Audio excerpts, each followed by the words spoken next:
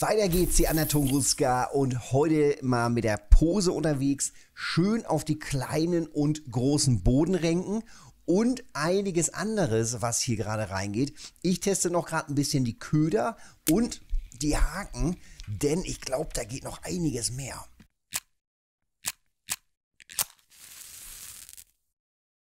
Also komm ran hier. Bodenrenke, ja, in einem Kilo. Gar nicht so schlecht, aber da geht ja auf jeden Fall noch ein bisschen mehr. Ähm, ich muss gleich ein bisschen, ich denke mal, an der Hakengröße ein bisschen schrauben, denn ich bin hier super fein und klein unterwegs und wollte eigentlich auf die kleinen Fische gehen und jetzt, bam, gehen hier doch die etwas größeren Brocken rein. Wir gucken mal eben kurz ähm, in den Kescher. So sieht es gerade aus. Sortieren wir mal eben. Machen wir es mal so. Also, das ist gerade jetzt das Ergebnis hier nach einer knappen halben Stunde. Passt das? Ja, noch nicht mal ganz. Also, so sieht das aus. Und insgesamt jetzt hier 132 Silber schon zusammen. Also gar nicht so verkehrt. Und äh, ja, jede Menge Bodenrenken dabei und das Ganze eben auf einem super kleinen Setup. Und zwar, na, wo ist es? Hier ist es.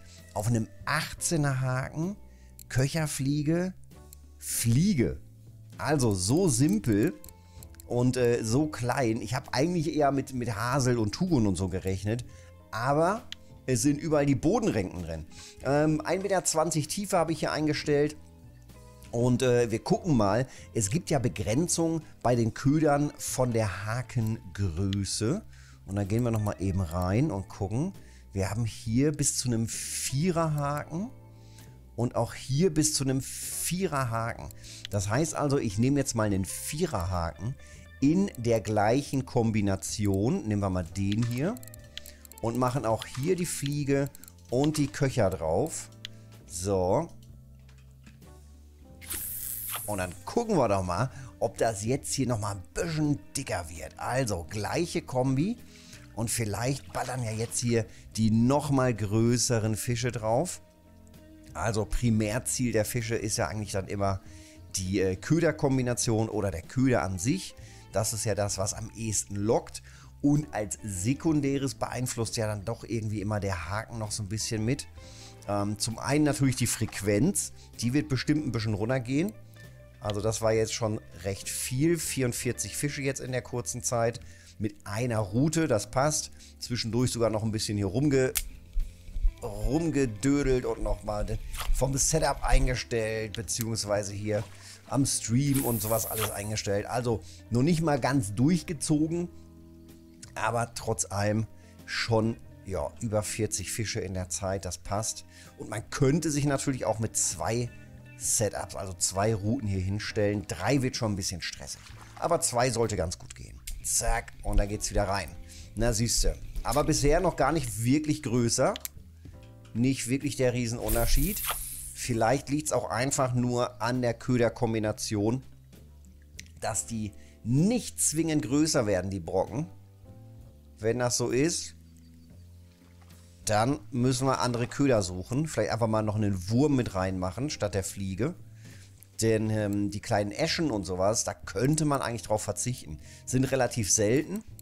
Kleine Eschen, also hier unten bei der Kombination ähm, mit äh, Köcherfliegenlarve und Fliege waren immer mal so ein paar Eschen dabei, in den Morgenstunden vor allem.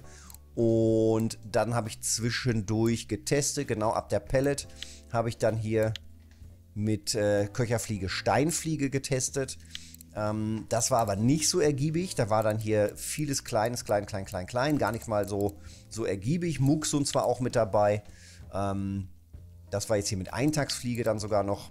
Aber im, am besten läuft tatsächlich die Kombination äh, mit der Fliege. Einfach auch von der, von der Frequenz und von den Größen her war es tatsächlich mit am besten. Vielleicht nehme ich gleich nochmal einen, äh, einen Sechserhaken. Sollte vielleicht nochmal besser funktionieren. Sechserhaken und die, hoppala, und die Kombination. Wobei, wenn man, wenn man die Bodenrenken haben will, hm, dann müsste man auch eigentlich mit einem größeren Haken rein. Ne? Eigentlich braucht man dann den dicken, fetten Haken für die richtig großen Brocken. Die können ja, ich weiß gar nicht, 8 Kilo oder so groß werden. Da ist sie, große Bodenränke, 8,8 Kilo, Eintagsfliege, Köcherfliegenlarve. Na guck, also in der Kombination ging die Trophy bei mir rein. Ist natürlich auch schon Monate her, aber vielleicht klappt es ja immer mal wieder mit dieser Kombi. Gehen wir jetzt auf 1,60 Meter Tiefe, Köcherfliege, Eintagsfliegenlarve. In der Kombi probieren wir es einfach nochmal. Und das Ganze, wie gesagt, nochmal ein bisschen tiefer, von 1,20 Meter auf 1,60 Meter deutlich mehr in Richtung Boden jetzt sozusagen. Und dann gucken wir mal, ob das so funktioniert. Zack, na guck. Und das sieht auch gewichtsmäßig gar nicht schlecht aus. Yep, komm ran hier. 1,3, ja, aber bisher noch kein Unterschied wirklich zum 18er Haken. Da waren die auch ungefähr in der Größe. Also, da bleibe ich doch dann lieber bei den kleinen Haken und bei einer äh, hohen Frequenz. Wobei auch, ähm, es waren auch viele Unmaßige dabei. Aber so könnte es doch noch weiter funktionieren. Na, guck. Also, gar nicht so schlecht. Man kann einfach, man kann einfach hier so vieles probieren. Es ist der Hammer. So viele Köder, die einfach immer wieder äh, funktionieren. Auch in Kombination. Jetzt gerade mit dem Regenwurm nochmal mit dran getestet.